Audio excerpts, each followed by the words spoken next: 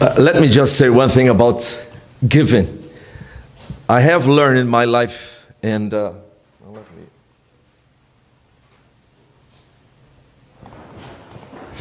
throughout my ministry, and as I study the Bible, when I see Jesus looking at those who are putting money, remember?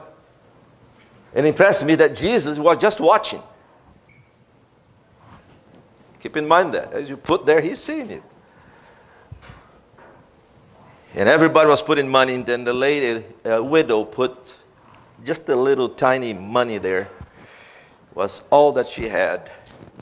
And Jesus said to his disciples, That widow gave more than everybody else. In other words, if I would like to have someone in my church, it would not be that those who gave so much money, but that widow. And I think the point is this I learned in my life you are never too poor that you cannot give something, not too rich that you cannot give more. And think about it. Everything is God's gift. Now, let us pray, and then will, and my message today has 10 points. and then say, now, seven yesterday, 10 tomorrow, on Sunday will be 17. No, no, no, no, no. No, on Sunday will be five, the Lord willing. But let us pray. Dear Lord, we are thankful to you because you're the one who brought us into the net. You are the one who saved us. You are the one who empowered us. You are the one who made us fishers of men. And now, Lord, we are all here in your presence again, asking you, oh Father, in the name of your Son,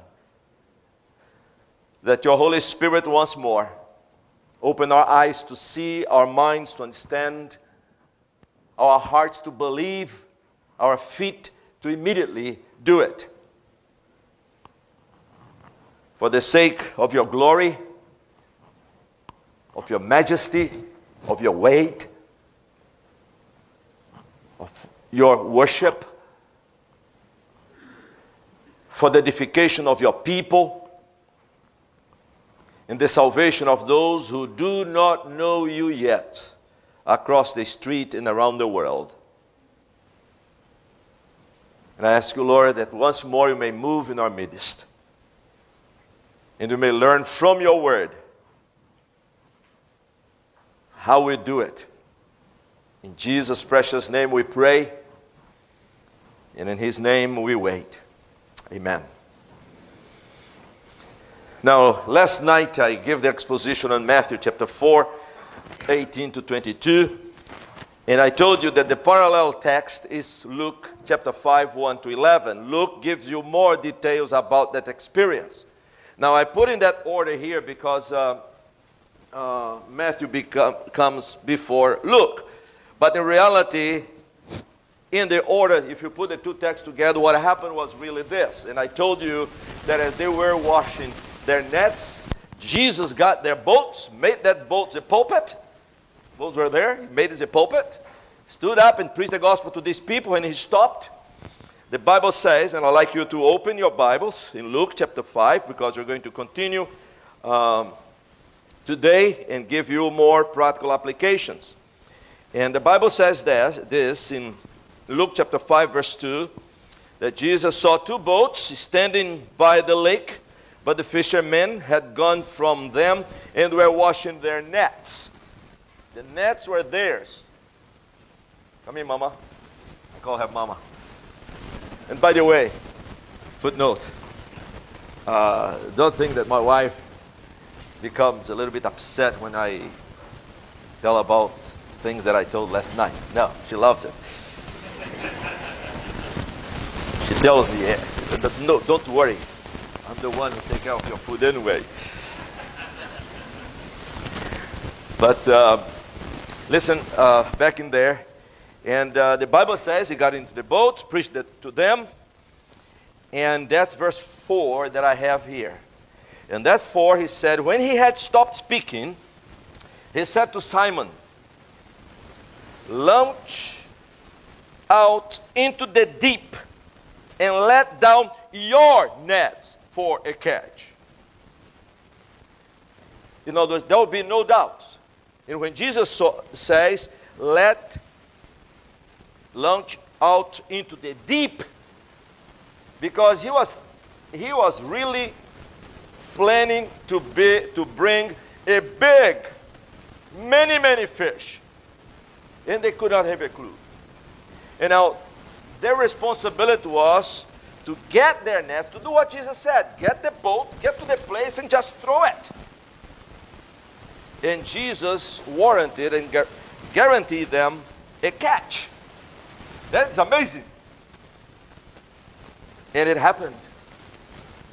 And in that context, therefore, is when P- uh, Peter is so amazed what he did. He fell down at Jesus' knees and said, Depart from me, for I am a sinful man, O Lord.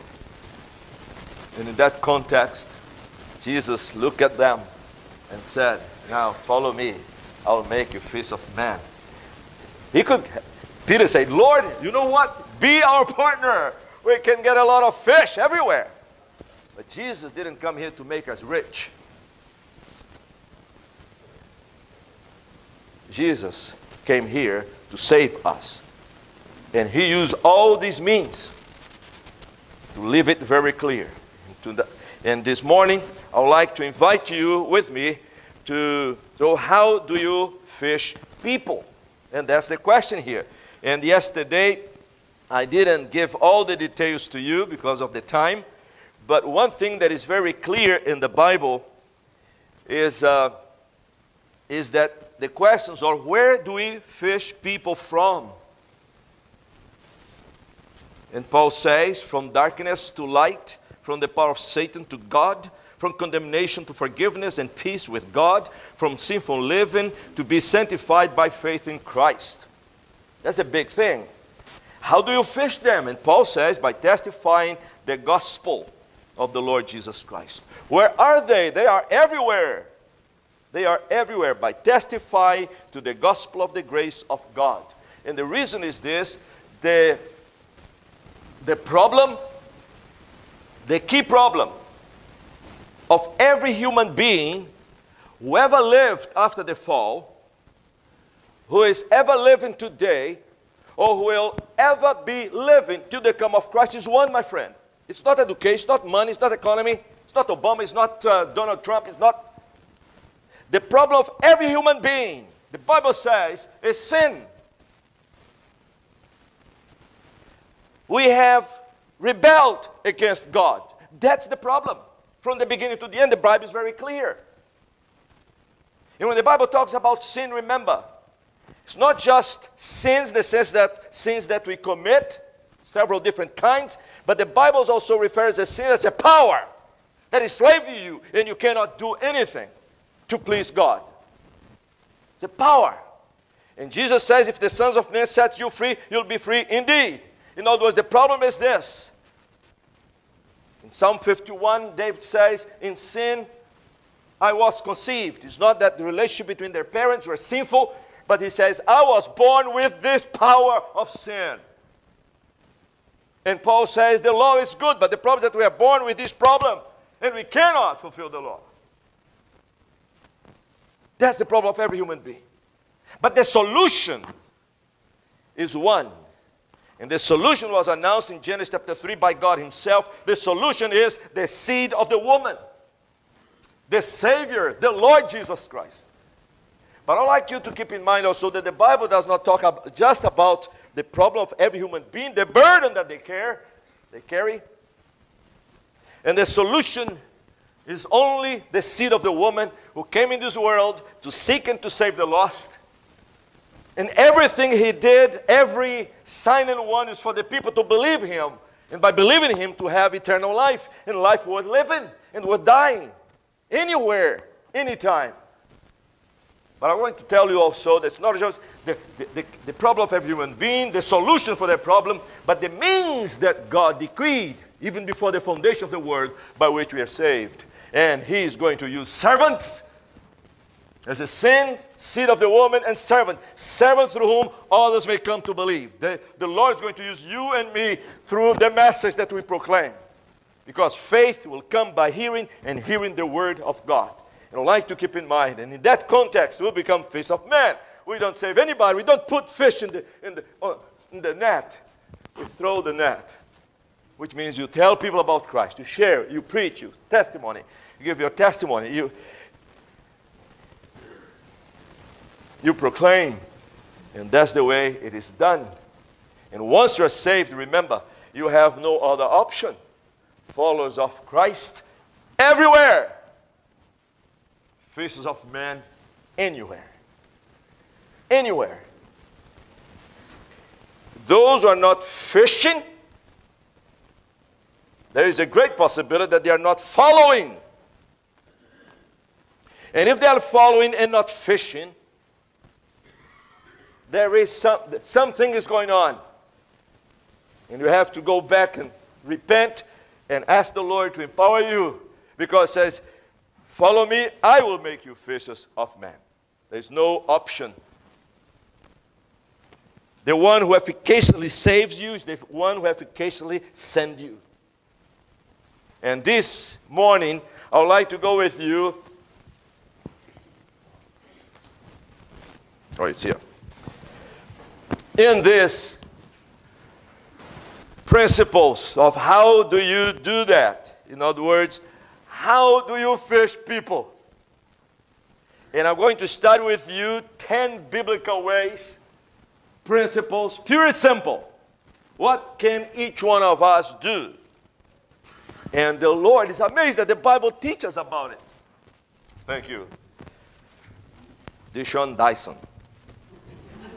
Is that correct?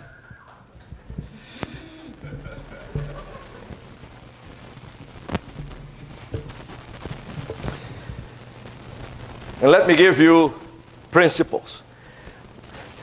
I am assuming, let me tell you this, I am assuming this here. I'm assuming that, that when someone comes to the saving knowledge of Christ, in other words, when someone comes into the net, you're going to see that the Lord Jesus has already used many circumstances, many peoples, many places, many experiences. It's like a, a, cha- uh, a chain with many links. When I talk with people, how did, how did you get to the knowledge? How did you get to know Jesus? And it's amazing. Because they're going to tell a lot of stories. If you think about Jesus and the Lord has used many circumstances, sometimes different people, and means that come to that place. I always pray, Lord, in that chain, I want to be one of those links. I want to be one of those links. For example, how many people I know say, man, I came to the same knowledge of Christ when I was watching Billy Graham. When I went to see Billy Graham in Brazil. But what they forget is also when I say, but why did you go to watch Billy Graham? And they say, I was invited. And they say, My mom was praying for me. You name it. I want to be one of these links. In one of them, even if I'm the last one when this person came to the saved knowledge of Christ and now is, grow, is going to grow in the followership as they follow Jesus Christ. But let me give you 10. And I believe all of these things that I'm going to share with you, all of you can get involved with. And one of the first things that I'm going to tell you is this one thing that you can do is pray. Oh, my friend, it is not easy. Of course, it's easy. Say, what have to do to pray? But have you realized that the most difficult things to obey in Christian living are not necessarily the most difficult to understand? The most difficult things to obey in Christian living is generally the most understood or the easiest to understand things. For example, if I ask you, if you want to grow in your intimacy with Christ, what should you do? And you say, of course, you have to pray. Of course, you have to pray. You have to talk with God. Secondly, you can say, I have to meditate in God's Word. I have to study God's Word. Of course, you have to hear from God. Simple. And you have to share the faith with other people. Yes. Very simple, my friend. Easy to do, huh? No, they're not easy. But I'd like to call your attention for that. Pray for unbelievers. And that's not difficult. And I hope and pray that you know people in your family, in your place of work, in your neighborhood who are still lost. Begin to pray for them and pray for the Lord to open the door. You'll be surprised, my friend, what the Lord is going to do. Begin to pray for these people. That's a thing that even my grandchildren can do. Pray. And when I say pray, because I have many texts in the Bible. And if you ask me, why should I pray for the salvation of the unconverted, of the lost friends, of the, even my enemies, even unknown, unknown people? Why should I pray for them? And I'm going to give you three reasons why you should pray for them. First, because only God is able to open the heart of sinners to heed the things spoken by us. You may throw the net, my friend, but only God can get and put the fish to get it. And I say that because Paul said, Luke says that in Acts 14, 27, 16, 14, you name it. When say, and God opened their hearts to believe. That's what we pray. In other words, God is the only, keep in mind that, my friend, because many times we are so struggling because we don't see people getting converted as if we are the ones who are going to convert them. No, my friend, my responsibility is the net, sharing the gospel, pray for them, persuade them, use all the kinds of illustrations that I can, but I know I cannot save them. I cannot bring conviction. That's the work of the Holy Spirit, and the Holy Spirit is going to use means. And it does not matter where you are, my friend, here in Brazil, in China, wherever you are. That's the way it goes. And you have to keep in mind that God is the only cardiologist who is able to take a heart of stone and put a heart of flesh. And that's the way we pray. Oh Lord, remove it. I have been praying for a friend of mine for many years. He was here at the at the UMC as a researcher from Brazil. Came to do his postdoc, stayed here working for many years. Now he's back in Brazil. When at first I met him and his wife, we brought them to our house for dinner and we began to talk. And of course, we began to talk about Christ and stuff like, and others subject like this every time and he would invite us to go to his house and every time we sat together we began to talk and i remember many times that i was sharing the gospel with him and telling he would say to me elias but i don't believe it I don't believe it. How do you do with this person? I continue to pray, Lord. I said, My friend, let me tell you, the Lord can take your heart of stone and put a heart of flesh. And every time he says, But I don't believe it. And then I'll say to him, That's your problem, not mine. Is it not? I'm sharing. I'm, pray, oh Holy Spirit, open his mind, open his heart. But I told him once, I said, listen. And by the way, that's what God says in Ezekiel I will give you a new heart and put a new spirit within you. I will take the heart of stone out of, out of your flesh and give you a heart of flesh. And that's the way I pray. And what's my, my point? My point is to speak and to share the good news to the dry bones. May the Spirit of God do it. And how many times I talk with him. And I'm still praying for him. And one day I told him, I said, listen, I'm not going to mention name because I know you're videotaping this stuff. I said to him, let me tell you, my friend, what I'm telling you is the truth. And I have no doubts whatsoever.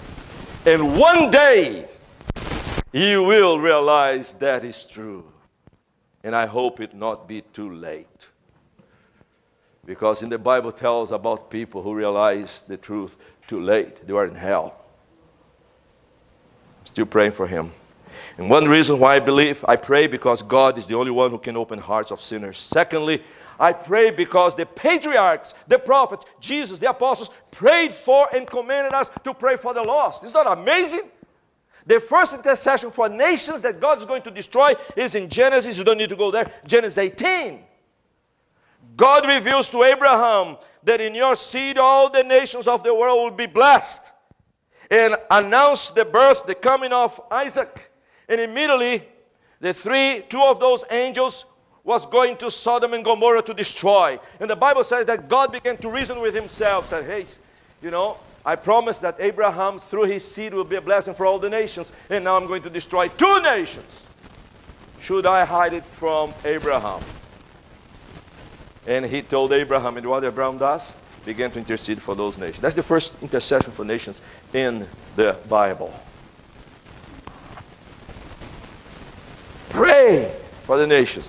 But let me tell you, so many examples. But I'd like you just to open your Bibles in John 17. Because Jesus prayed for the lost. Isn't that amazing? That Jesus prayed for the lost. And not once, but before he goes to Gethsemane, go with me quickly. I'm going to mention this text on Sunday. But in John 17, and don't worry, I'll have tell stories about praying for the Lord. It's unbelievable what God does. In John 17, Jesus praying to the Father. This is the Lord's Prayer. The, the longest prayer of Christ registered in the Bible, John 17. The prayer in Matthew chapter 6, he taught us to pray. That's a prayer that Christ cannot pray. That prayer in Matthew 6, Christ does not pray that prayer because he can never say, Forgive my debts or my sins. That he taught us, that he prayed. In the midst of that prayer, he talks about God's glory, how he saved these people, and in verse 9, listen what he says. In, verse 9 says, I pray for them, for those who are saved now. I don't pray for the world, but for those whom you have given me, for they are yours. He's praying for the church. And you have a list of things that he's praying for the church. But then when you come to verse 20, that impresses me very much. In verse 20, he says, I do not pray for these alone, for those are already saved, but also for those who will believe in me through their word. Jesus praying, interceding for the lost. Praise God. When we're sharing the gospel with the Lord of the Lord Jesus Christ, I know that my responsibility is to throw the net. And the Lord is interceding for me. And in some or another, prayed and praying for those whom He has called to believe if Christ prayed, the Apostle Paul, remember, oh man, so many. Luke 23, remember when they were crucifying Christ, Christ says, Forgive them, O Father, because they don't know what they're doing. That's a prayer. By the way, Jesus didn't forgive them. Forgive them, O Father, because they don't know what they're doing. For you to be forgiven, you have to repent. And praise the Lord for Acts when you go to Acts chapter 2 and 23, when those people, Peter, preached to them, you reject, you crucify the Lord, and then suddenly says, What can we do to be saved? Yes! Repent and believe in the Lord Jesus Christ. And they repent, and 3,000 people of those who really stood up against the Lord were saved that day. Romans chapter 10, verse 1. Let me just read it to you. Why do I pray? Because the apostles prayed. Jesus commanded even pray for those who spitefully or spitefully use you and persecute you. But in Romans chapter 10, when Paul looked at the Israelites, as Israel as a nation, he says this Brethren, my, writing to the Romans, remember, brethren, my heart's desire and prayer of God for Israel is that they may be saved. You know, Lord, save them. And that's why I was preaching the gospel to them.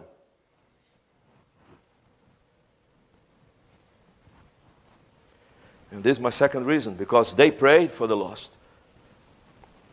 And I hope and pray that you begin to do it. I don't know how many members you have here.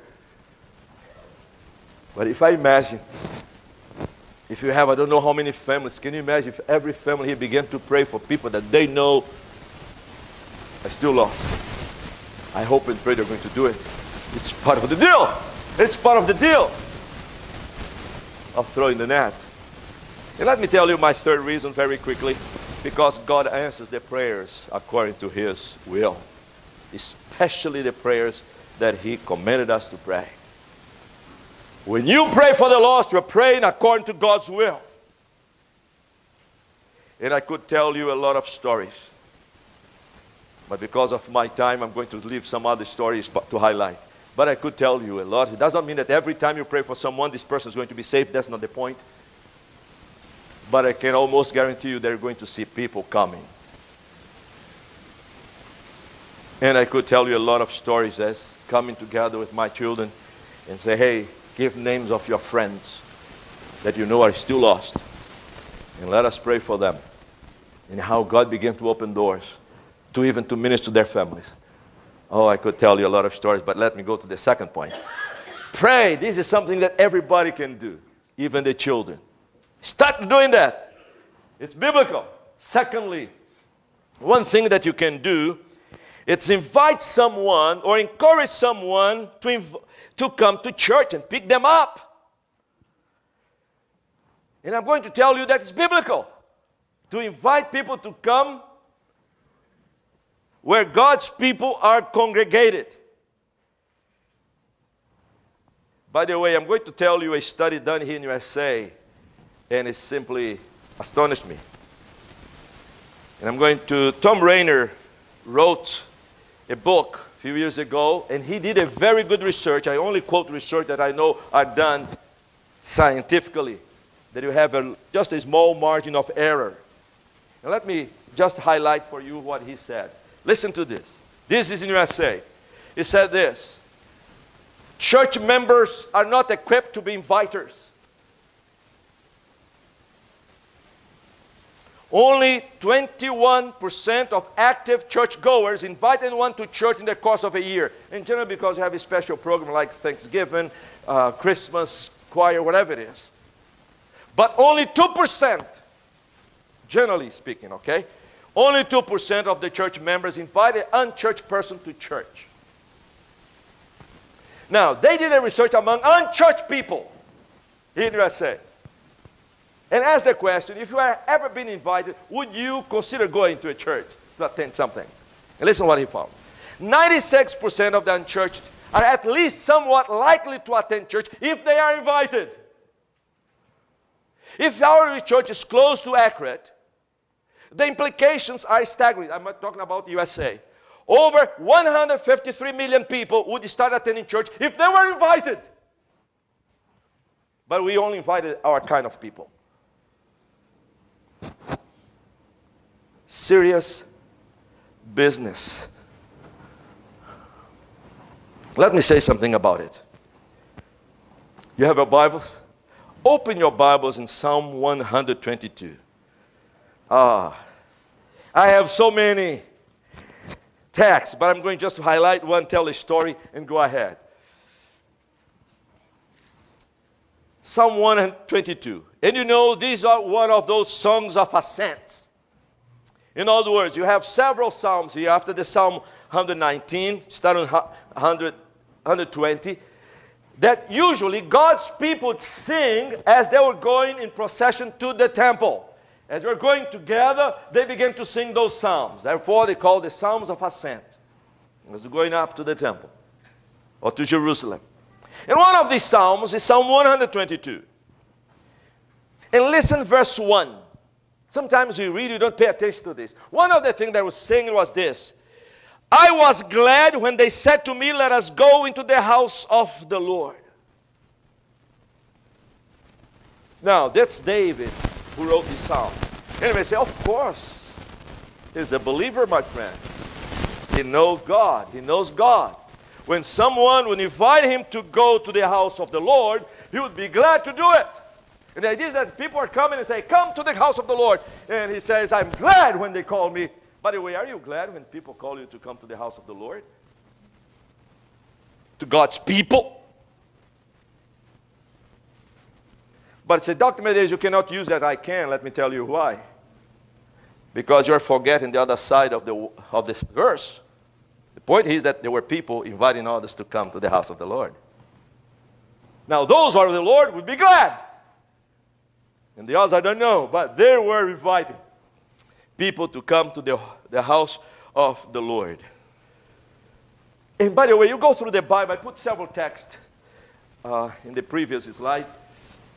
You can go and, check all these texts how Andrew brought his brother to Jesus, how four men brought the paralytic to Jesus, how the Samaritan woman, the Elizabeth Taylor of the Bible, invite the people from Samaria to hear Jesus. Let me tell you a story here that's very dear to my heart. My uncle, which was the youngest brother of my father, my grandfather had several children, about five or six, I, I forgot the number. But that does not matter. But this young man was the youngest one. My grandfather was a very faithful elder of the Presbyterian Church. My father, by God's grace, remained faithful. But this young brother didn't care for church. Very involved with women and stuff like that. He went to the, became a sheriff and became a commandant. What do you call commandant of the, the of the of the police? What do you call it? All right, something like this. the big, he was the big boss. Listen to this. Got married, children, but no church. Never cared. And he was very well known in the, the second largest city of my home state as one of the chief uh, men for the whole police in the region. One day I received an invitation. I was in Northeast Brazil. One day I received an invitation to preach in the church in that town. And then I thought about my uncle. I called him. I said, Uncle, I'm going to preach in one of the, this, this, the churches here in your town. Would you mind if I stay with you? I did it purposely. Because I could stay in a hotel, could stay in somebody else of the church. But I said, now that's my time to stay at his house. He said, of course, son, come, we'll be welcome. And he picked me up at the bus station. I went to his house. He's there, his wife and the children. And uh, I was going to preach Friday, Saturday, and Sunday. And on Friday, I got there on Friday morning and I said, uh, Uncle, I would like to invite you to come to church with me tonight. You take me to church. I said, Of course, son, we're going to take you to church. And he took me to church with the whole family that Friday. Never had gone to church, my friend. But he took me. And he stayed there and I preached the gospel. On Saturday, he took me again. On Sunday, he took me in the morning and in the evening. On Monday morning, I said, Thank you, uncle. Left that city. And I didn't hear about my uncle till a few years ago. As a matter of fact, later I heard that he was an elder in the church. And I was so glad because we were praying for him. And a few years ago, I was with my brother in law passing through that city. I said, Is not my uncle living here? He's now in the 80s, by the way, just for you to know. He's in the 80s. He said, Yes. He said, Could you pass by his house? It's a long time. The last time I saw him when I came here several years ago to preach. He said, Yes. Took me to his house. He was not there. But the wife is there, the married children were there, and when I came there, they gave me a big hug, and one of them said, Elias, do you remember? I said, I'm so glad that all of you are in the church, that my uncle is an elder of the church, the treasurer of the church. I'm so glad. And said, That's your fault. I said, Why? I said, Do you remember the day that you came to our house? And you invite dad to come to church. And from that day on, dad never stopped going to church. God brought him to Jesus, and he's an elder. This year, was this year or last year? Last year, I was preaching that city again. I called, he could not come because he was a little bit sick, but I was preaching in a conference for 10,000 people. I have never been so, with, among so many people. 10,000, my friend, in front of you. 10,000. You have that for the whole week. I was preaching twice. Josh McDowell was there as well from America. And now his son, who is also an elder, and he is now really the, the position that his father had, only a little bit higher because he's now for the whole region. He called me on the, to the hotel and said, Elias, I want to see you. And he came to see me. committed believers. said, man, I, I'm so glad to see you. He said, The Lord has done so many things in my life. And it even started when I said, Uncle, would you go to church with me? Invite someone. Don't worry, I'm going to stop by 9:30. Third, just an example. I could tell you a lot of other examples, but this is one that has marked my life. Invite someone for dinner, for brunch or for lunch, etc. And pray that the Lord is going to open the door for you to share the good news with that person. And by the way, and if you don't know how, invite Albert for the lunch and say, Pastor, I'm inviting someone and I would like you to be there to pray and to tell these people about the Lord. Yes. Or Steve Lanier, get somebody. And it's biblical. Let me tell you why. Have you realized how many places Jesus sat down with people to eat? And let me give an example that many times we forget. Open your Bibles in Matthew chapter 9. Oh, you're going to, to love it. Oh, how I love Matthew. Matthew chapter 9.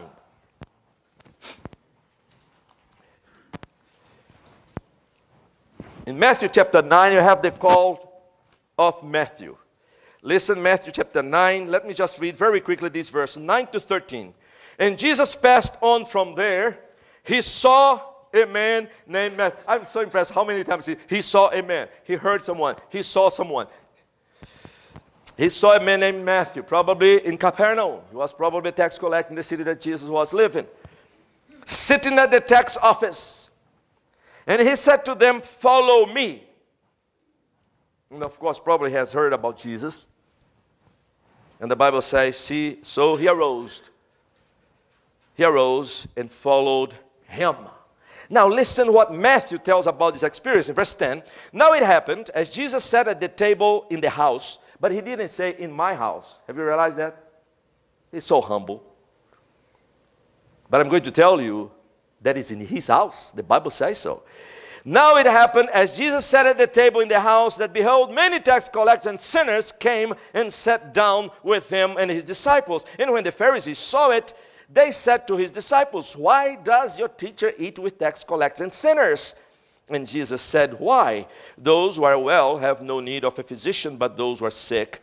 But go and learn that this means I desire mercy and not sacrifice, for I didn't come to call the righteous, but sinners to repentance. That's why I'm eating with them.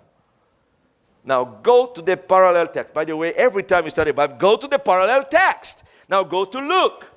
Go to Luke with me. Oh, my friend. I'm telling you, it's a biblical principle. It's not just because it, don't do something just because it works, but do it because it's biblical. And now you know it's going to work in some way or fashion. Do it because it's biblical. Luke chapter 5, the same story, verse 27. Oh, you love it. Listen to this. I'm going to read to you because the Bible convicts you. After these things, he means Jesus, went out and saw a tax collector named Levi, because that's the other name he had, sitting at the tax office, and he said to him, Follow me. So he left, rose up, and followed him. Verse 29 Then Levi gave him a great feast in his own house. Got it? And what he did, he invited all his friends to who? To hear the Lord Jesus. It's biblical. I could tell you a lot of stories.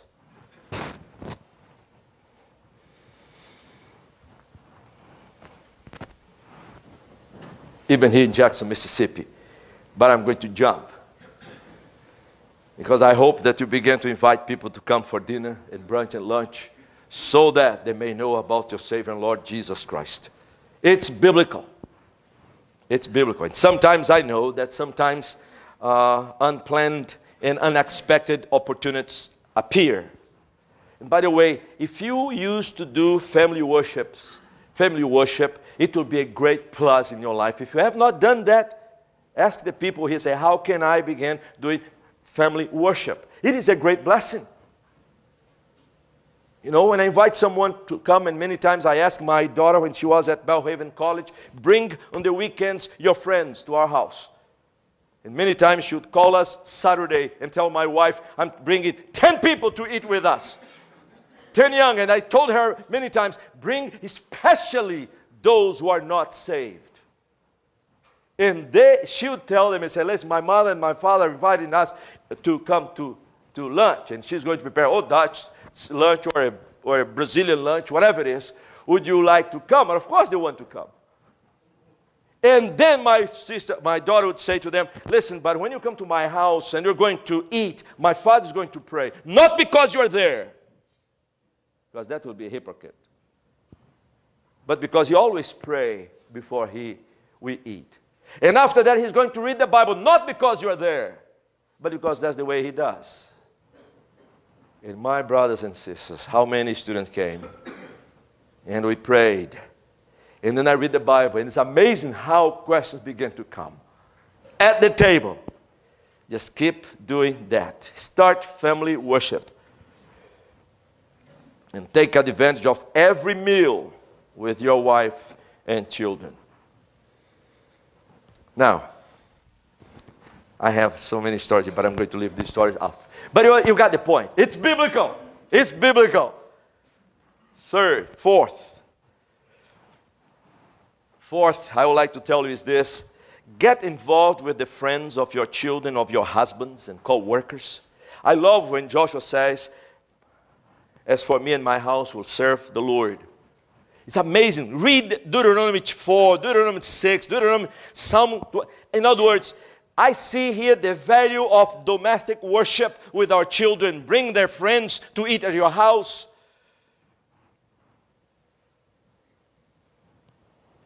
You know, my mother, UK, my mother is 86 years old.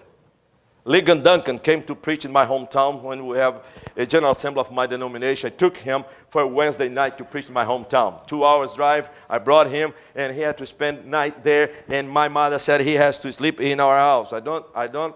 He is not going to a hotel. And Ligon Duncan said, Ligon, you cannot go to a hotel here, my friend. You have to stay at my house, my parents' house. No problem. My parents now have a very nice house with a suite there. He stayed. And I said, Ligon, let me tell you ahead of time. You're not going to speak for five minutes with my mother without hearing about Jesus. And I asked Ligon, You can't. She is going to challenge immediately, my friend. She's going to open her mouth and tell. And my mother used to do this. Son, the, my father was working for, uh, uh, retired in Brazil, working as a judge for social security case for the government. And then he had a lot of trips, of meetings and conference and stuff, and my mother always went with him. And my mother would go with him, and she would go and stay with the other ladies while the guys are doing their business there. And my mother said, Son, I love to stay with those ladies because some of them are really clueless. They have a lot of money, but they don't have Jesus. And one thing that I like is when, because when we come together, we begin to talk about our children and grandchildren. And said, I love when they ask about my family. And they said, he said, and when they ask, what about your children? Oh, my oldest one is a pastor. And you know what he does? Boom!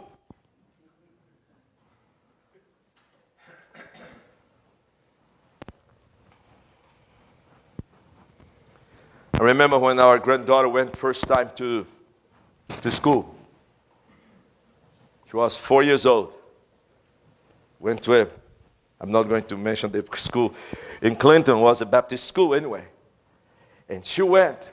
And the first time when she came back, the first day, I asked her, I said, My grandbaby, let me ask a question. How was school today? The first time he went to school, he said, It was great, Dad. Oh, grandfather. She called me vovô, which is grandfather in Portuguese.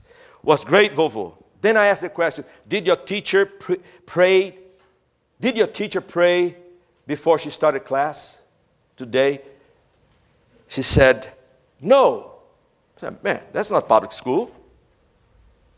And said, now tomorrow when you come back, would you please ask her why she didn't pray? Little ones are great, my friend.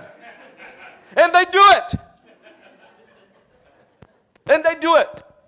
And you can train these little missionaries. And they do it. Is it not true? They go and do it. Footnote you know John Perkins, don't you? I love that brother. And I met him the first time in 1989. I heard his testimony. He came to the saved knowledge of Christ when he was 27 years old in California. Fleeing from here, his brother had been shot. And you know how he came to the saved knowledge of Christ, let me tell you, because I heard from him.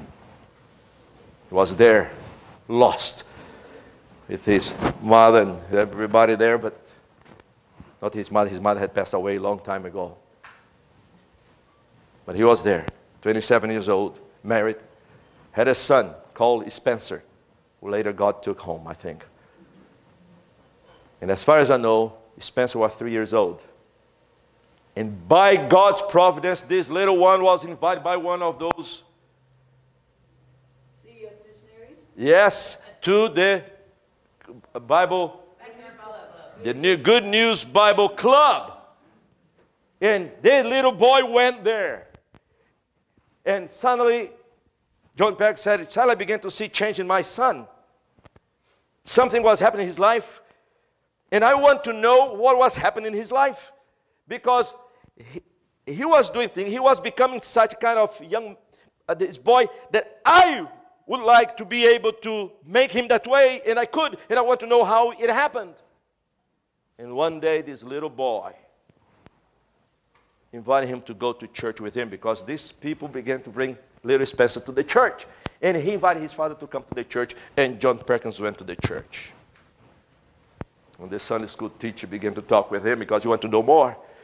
And then that's the way he was introduced to the Lord Jesus Christ. Don't despise the little ones. Now, she went back, came back the following day. The following day said, Did you ask the teacher? I said, Yes, Grandpa, I asked. What did she say? He said, Oh, we pray when you go to eat. I said, Very nice. By the way, get involved with your children's and grandchildren relations. Then I said, Little one, is everybody, how many people you have, how many kids you have in your class? She said, About 12. And she already memorized the name of all of them. By the way, she learned to read before she went to school. Was amazing. That's another story. Um, and I said, Is everybody, does everybody in your, ch- in your class know the Lord Jesus Christ? And you know what she said? I think she understood about Bible Belt. She said, Of course, this is a Christian school. So, what? It's a Christian school, Vovo. Of course, everybody there is a believer. I said, I want you to go back and ask three questions for them, but not during the class. But when you have a break, I want you just to talk with each one of them and ask these questions. Very simple. You ask, for example, something like, Hey, do you have a Bible at home? It's a question like that. Or, do you go to church? Or, do you know Jesus? Just this. These, these little are tremendous. She went back, came back, and I asked her, Is everyone, did you talk with them? I said, Yes, Grandpa, I talked with them. And I said, Is everyone a believer in the Lord Jesus Christ? And no, Grandpa, there are three people there that do not know Jesus, do not have a Bible, and don't go to church. And two of them were Indians from, from India. Said, What are you going to do now? She said, I don't know. I said, Let us pray for them. And that the Lord may open an opportunity. There was an opportunity. She was invited for one of those birthdays. By the way, I, I'm just telling you about opportunities that the Lord gives through the little ones. Get involved with your kids and say, What are you going to give to this, this boy, this Indian boy? I said, Oh, I'm going to give a gift and the card. I said, That's nice. But what else can you give to him and to the family? Let us go and buy a Bible, nice Bible, and go to give and tell them this is the best gift I can give you. That's it. And let us pray to see what's going to happen. I don't know what happened to the family, but the point is this get involved with the friends of your children, grandchildren, your husband, co workers, you name it. Fifth, use the resource that I'm going to run, okay? Use the resource that God put under your care as a steward, your house. Oh man, don't you love this? is the story of Cornelius. Cornelius. He used his house. And you have so many stories like this. And I tell people use your house to host people for Bible study, for example. Advertise your faith in your properties. I remember when we, now there's another story, leave it aside. I don't have time to tell this story. If you don't know how to lead a Bible study at your home, invite somebody from the church, say, hey, use my house to start a Bible study. I can invite my neighbors. Use your house. I mean, experience here, but then, in other words, not only your house, and I say use your house for family and friends worship, use the resources that God put under your care, steward your telephones have you ever thought about it? I have told that story here before, but I'm going to, to share. Now they don't call me anymore on the phone. But there was a time, remember, they were all telemarketers? Oh, I love. I, I was really, no, I didn't love the telemarketers. The beginning. As soon as I got employed by, the RT, by RTS, I realized that everybody knew I was employed in USA. And then call, credit cards, you name it, phone, calling me. And I was really getting upset till one day I realized something. My son once a Dad, when the telemarket called you, don't worry, I'll take care of it. They said, wait, wait, wait, wait, wait a minute.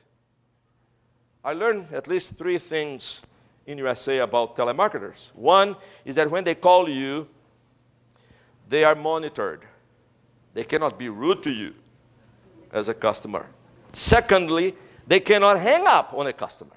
They can lose their job. And the third thing I learned in USA that is very good is that the customer is always right. Said, don't worry, let them call. And one day, off, almost every day. And then in the night, someone called when I came back from work, and someone called. It was someone from AT&T, whatever it was. And says, Mr. Medeiros is from AT&T. I said, all right. I'm going to let you speak, and after that, I have a question for you. Is that okay? He said, yes. after this day, I didn't ask this because at the end, they many times they said, Do we have any questions? And I remember this guy at TNT finished very quick because I knew he was reading something. And when he finished, Do you have any questions? I said, Yes, I have. It was sun, Monday. I said, Did you go to church yesterday? said, I beg your pardon, sir. I said, Today sun, is Monday. Yesterday was Sunday. Did you go to church yesterday? I said, No, sir, don't go to church. Said, Why not? And then I talked very quickly with him. I said, You know, I think you're right. I think you should go back to church. By the way, through this, I met brothers and sisters. There was one girl that called me with a very foreign African accent. I couldn't realize that, but she was living in USA. And when she finished, said, Do you have any questions? I said, Yes. Where are you from? I said, I'm originally from Africa. And I said, By the way, do you have a Bible? Because one day I sent a Bible to India because of that telebar- telemarketer. I said, She said, uh, Yes, sir. And my father is a pastor. Then suddenly I met a sister in Christ over the phone who is a telemarketer. But anyway, use, my friend, use your computer, telephones, use your uh, whatever transport you have, in other words, to bring people. And you can find this. All right, that's too many. use the resource, use your computer. Remember that God's servant used also technology. And that's all right. Use computer. You have your emails, you have Facebook, you have all the social media. Please don't waste your time. And when you are in a Facebook, remember the question that I asked yesterday for Jesus about Jesus what are you doing? You can use it for God's glory. Now, if you don't have not our thing, write a letter to someone. Write a letter to someone. Don't worry, I'm going to finish here. Write a letter to someone. I'm going to tell you two stories about it. You know about Derek Thomas. And I'm going to summarize the story of Derek Thomas because I have heard it several times. He was away. He never go to church. His parents were not church people.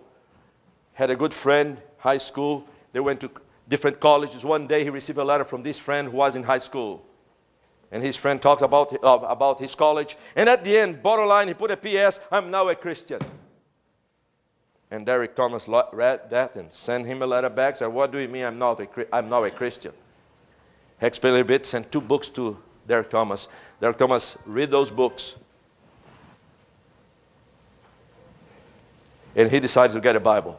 Went to a bookstore, got a Bible, and so I began to read. And I closed myself in the room. Uh, he was at home. There was, I think, Christmas time. I don't know what time was it. And I began to read. And as I was beginning to read, I realized I was really a sinner. And I began to read and realized that Jesus really died and paid for my sin. And that day, I cried and I bowed down before the Lord and surrendered my life to Him. And I went to church on Sunday, liberal church. And the guy tried to persuade him there was nothing. But by God's grace, he met people from uh, one of those type RUF that discipled him. And know you know Derek Thomas. And Derek Thomas heard about RTS when he was still a college student. And Sam Patterson here was visiting there and was speaking for the young people. And, and Derek said, I want to be a pastor. I want to go to your seminary. Seminary was committed to the Word of God. And he said, Sam Patterson came back and said, Come. I said, I, I am engaged. He said, Get married and come. and he opened all the doors for Derek to come to study here at RTS Jackson. He finished, went, was a senior pastor in, uh, uh, was the city there in Ireland for many years. Came here to preach in the conference. We invited him to be a professor. Rest is his story. And everything started with a PS in the letter, I'm now a Christian. Going to tell one more story. Now, let me tell you the, the rest of the points, and then I'm going to tell a story about letters buy and distribute Bibles and good evangelical literature. Oh, I could go so many places. Yes. Just take the initiative to talk with someone what you already know and want to know anywhere. You remember examples and report in the script. Just talk with people. Take wise and proper advantage of special occasions when you are invited. Jesus took advantage of all of them. And finally, what do you do when you are in a restaurant, medical office, hotels? And I tell you, Jesus didn't go to restaurants, but he ate with those who invited him for dinner. He didn't stay in the hotels, but he stayed at homes, bed and breakfast, by the way. Jesus did not visit medical office nor hospitals, but he received and visited many were sick. Let me just finish with this story because I have so many here to share with you. I'm going to tell two and I'm going to finish. This is about the letter. In 2001, you know what happened 2001, September 2001. That 2001, the beginning of the year, my son decided to enlist to the army in USA. He wanted to be in the army. He really wanted, and he enlisted. As he was enlisted there, the sergeant here in Jackson said, listen, they're going to boot, I'll say boot camp, is that what they call? Boot camp, it will be tough. You're not going to contact him, but you can write a letter to him, and they will give it to him. And my wife began to write a letter every single day to Johnny. And once in a while, I will write something there. And one day, I don't know why, I said, uh, um, I said, I wrote something. I said, Johnny, is there anybody in your, whatever you call it, company, whatever it is, that has not received a letter from anybody? And he wrote back to me, said, There is a young man here who has not received a letter from anybody. He said, Give me his name. And he sent me his name. Then I decided to write a letter to this guy. And I wrote a letter. I said, Listen, I'm going to, with my wife to Kentucky, etc., for this conclusion of your boot camp. And I'm taking something for Johnny. And I'll like, I'm very much interested to take something for you. He replied this letter. It's May 9, 2001. Says, Dear Mr. Medeiros, thank you very much for the time you took to write me this epistle. It was not big letter. It is true that I'm from South Africa, but I am born in East Africa, Kenya, before my parents migrated to South Africa. Hence, my accent and language in Swahili. Swahili is semi-Arabic tongue, mostly used in the island of Zanzibar, Mombasa, Malindi, and Pemba in East Africa. I lived in South Africa for four and a half years. For four and five, for four and five years, Swaziland. I have visited Morocco, Belgium before I came to America, where I have permanent residence in Philadelphia. I was born 19 years ago the month of Iris. By the way, Johnny told me that he declared himself an atheist. And by, just to provoke, I put at the end of my letter when I read, wrote, the Lord willing, I'll be there. And then he said to me, My family won't come due to that uh, celebration due to the nature and situation of their jobs. I hope to see you and your wife on that day. And then he said, because I said, You want me to take it? He says, My wants are few, and so are mine. John said, that, Dad, you have to see what happened. He never received a letter. Suddenly we are all there because the sergeant had given letters and called my name and son called McGee. And he looked at the first letter. It was a letter from me.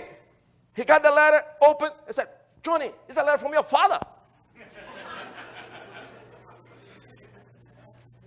Medeiros. Medeiros called Johnny, not Johnny. Medeiros. It's a letter from your father. And he says, My ones are few and so many. I have learned to live on less and hope to preserve this virtue. I therefore wish to let you know that by writing this letter, you gave a gift worth remembering. And my, with immense gratitude, wish that you should not bother yourself because of me. I met him there and on May 18, 2001, I wrote a letter, another letter telling a little bit about my life. I was 50 years old and tell about what really kept me going as uh, the Lord. And I said, I'm not trying to, to convert you, but I want you to know the reason of my life, etc. Now, September 11 came. It is 2001.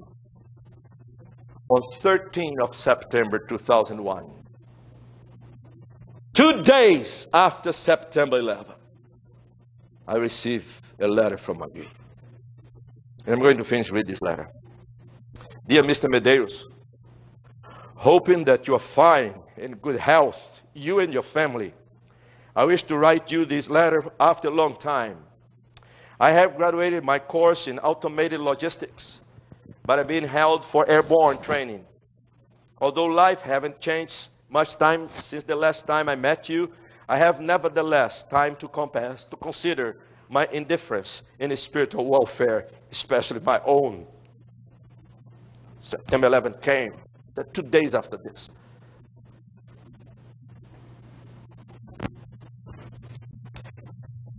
I received a letter from one of your students because I had somebody who could write in Swahili. Said, write a letter to this guy and haven't gathered enough courage to write back, but I hope to write if it all will. All will. I haven't got words enough to express my sincere gratitude for your concern in my life and the destiny of my soul. Last night, September 12, this was right after September 11. I completed reading a book by Francine Rivers called A Voice in the, the Wind. The main character was a Jewish called Hadassah who after her family got killed in Jerusalem by Titus, the emperor's son, was enslaved to Rome and lived in a rich man's house. She lived under numerous tempests and threats and thoughts, and through these she outlived humanity for the sake of her Christian faith. Before she died in the arena, mauled by lions, she explained what love means to one of her admirers. And she talked of how love is patient, kind, how it does not act unbecomingly or seek its own. It's neither provoked nor take into account the wrong done, does not rejoice in unrighteousness, but in truth. It becomes all things and hopes. And as I close my book and focus on the life I have lived, I realized the ignorance I have had, the impatience, hatred, and the numerous injustices I have done, unlike Hadassah. I borrowed a Bible, but I could not find the words I was looking for, and my heart was yawning to find them. Frantically, I perused, but failed again. I placed the Bible on the table and decided to write to you. It's two days after September 11. I wonder why God, in His creation, by the way, this is a former atheist. I wonder why God, in His creation, made confusion be part of man and with uh, different people and beliefs and with these different religions. What is right, which is applicable to men who want to live honorably before their Maker? Why Christianity? These are some of the many things I have to wonder about. I wish I could tell you more, but there is always limits to everything with a start. May God bless you for your understanding and fatherly concern. Give my sincere regards to your wife and family. I have lost contact of Johannes Medeiros through training, but I hope you'll greet him on my behalf. And may the God that you pray have an upper hand on your daily judgments and duties to your family as a husband and father. And I reply that letter, giving all the instructions he need. I have this. I reply that on September 19. I'm not going to read it to you. But everything starts just with a letter. You can do something. Let us pray.